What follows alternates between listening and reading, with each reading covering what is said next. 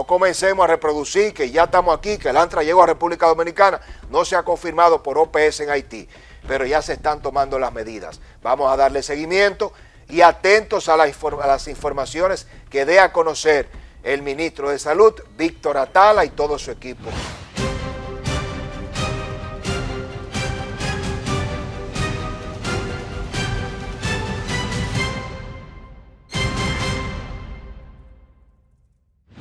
El aviso que ha dado el Ministerio de Salud Pública enviándole un comunicado y una alerta temprana al Ministerio de Defensa y a toda la seguridad fronteriza que involucra el ejército, los organismos de inteligencia, el cuerpo especializado de seguridad fronteriza sobre antrax, un brote de antrax detectado en Haití los CDS de Estados Unidos instalados en Haití, la Organización Panamericana de la Salud, que tiene sede en Haití, están gestionando, evaluando y están ya activando los protocolos de cara al alto riesgo que representa precisamente el tema del antrax en Haití y el impacto que tiene para República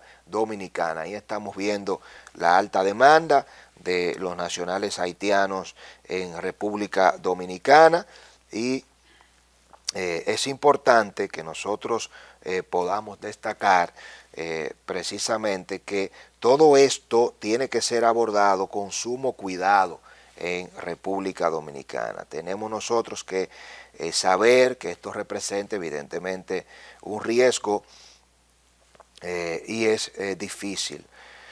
Eh, nosotros asumir todo lo que puede estar pasando en un momento determinado en nuestro país. Vamos a bajar aquí, muchas gracias. ¿Qué dice el Ministerio de Salud Pública? Dice en el comunicado, el Ministerio de Salud Pública toma todas las medidas de seguridad ante sospecha de brote de antrax, eh, ante las recientes informaciones divulgadas en medios de comunicación sobre una sospecha de brote de antrax en territorio haitiano, el Ministerio de Defensa ha tomado medidas preventivas de seguridad para proteger a la población. Estas acciones se implementan en respuesta a sospechas clínicas de posibles casos de antras. Vamos a bajar aquí y ese documento lo voy a leer eh, en solo minutos. Ahora voy a, a, compartirle primero y a comentar este comunicado de salud pública y luego si quiero también referirme a este memorándum del ministro de Defensa, Teniente General Carlos Luciano Díaz Morfa, y cuáles son las instrucciones que da el Ministerio de Defensa de cara al brote de antrax que quiero que le quede claro también que el tema del antrax, que lo conocemos por las series, por las películas, por los ataques terroristas que se han llevado a cabo en cartas y demás, con las esporas, y, es decir, eso es otra cosa. Mucho de, lo que conocemos y vemos, sobre todo en el mundo de la ficción cinematográfica, no es la realidad, para que eh, no creamos ahora que esto es un ataque terrorista, que el antra se va a contaminar, que no vamos a morir todo, que no, nada de eso. Es decir, hay muchas formas de comunicar temas sensibles. Obviamente sin paño tibio, sin ocultar nada, eh, sin uno eh, decir lo que no es, pero lo que no podemos hacer es eh, abrazar un discurso sensacionalista y no dejar claro cuáles son las vías de contagio del antrax y qué se está haciendo de cara a esta nueva amenaza, que de cara a lo que representa la debilidad sanitaria de Haití es altamente delicado tener una bacteria como el antrax. El antrax es una bacteria que se contagia vía intestinal a través del consumo de carne vacuna. El antrax se produce en los animales que el ser humano consume, en sus pezuñas, en la piel de los animales y ya sabemos que pasa de los animales a través del consumo de la carne o del contagio directo con seres humanos al humano.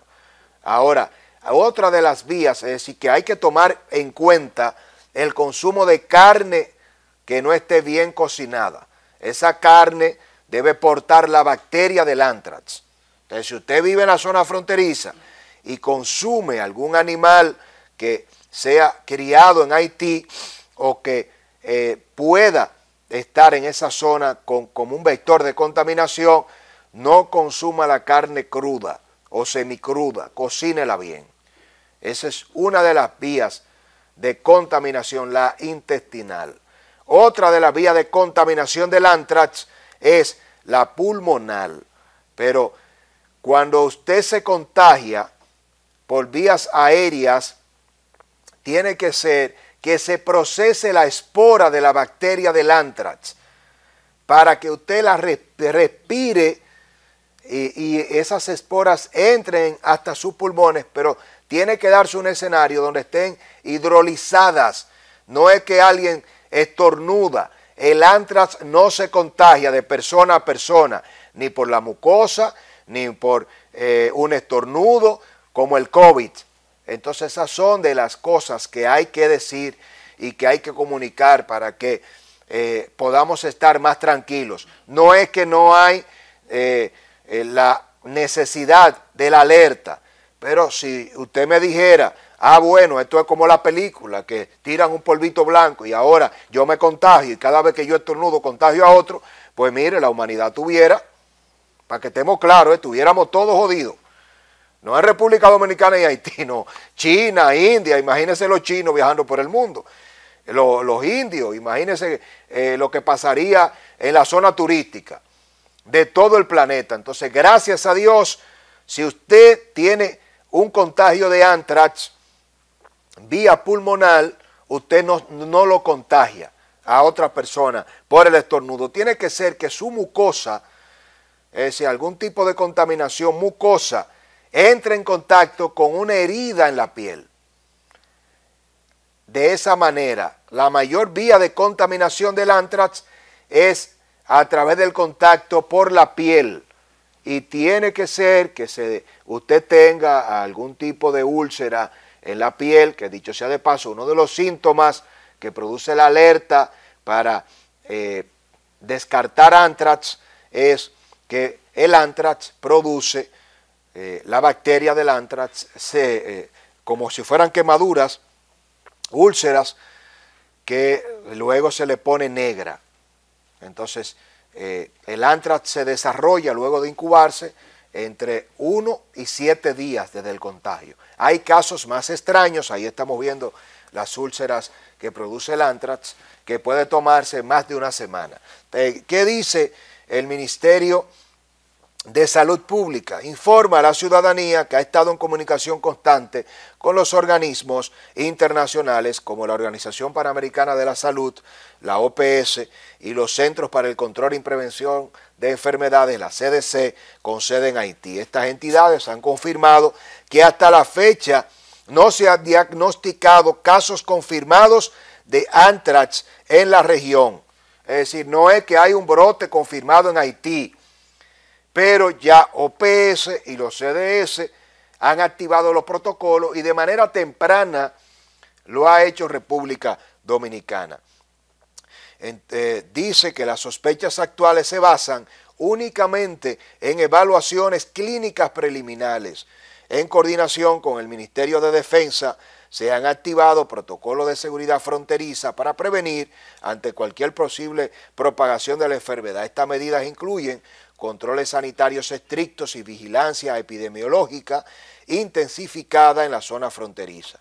El Ministerio de Salud reitera su compromiso con la salud y seguridad de la población dominicana. Continuaremos monitoreando de cerca la situación y mantendremos informada a la ciudadanía sobre cualquier actualización relevante proporcionada por los organismos internacionales. Instamos a la población eh, dice el comunicado del Ministerio de Salud Pública, a mantenerse informada a través de canales oficiales y a no caer en alarmas infundadas.